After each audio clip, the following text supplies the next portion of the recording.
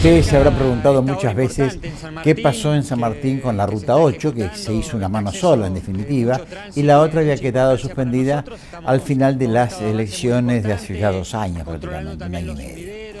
Bueno, el intendente Cato Podis nos explica y explica a la comunidad qué está pasando con la, con la otra mano, la mano que va de Campo de Mayo a Capital. Veamos hasta dónde llega, qué dice, los sumideros. Son temas que a todos nos interesa porque de una manera u otra es el paso obligado de la gente que vive eh, fuera del centro de San Martín y tratando de, avanzar con, mucha velocidad en estas obras que son tan estratégicas para nuestro distrito. Aquí estamos controlando específicamente los desagües, los sumideros. Aquí muchas veces este, se producían situaciones de anegamiento y de, de mucha inundación que perjudicaban el tránsito, que, impedían este, el, recorrido de, los autos y bueno, hoy estamos este, controlando que, estas obras puedan garantizarnos que la ruta 8 esté en condiciones, que se pueda transitar de manera segura, que podamos ir mejorando también toda la, iluminaria y que, recuperemos esta ruta 8 que estamos esperando con muchas ansias, que necesitamos en el distrito porque es una vía de acceso para, para nuestra ciudad, que nos conecta con la capital federal, que nos conecta con el buen aire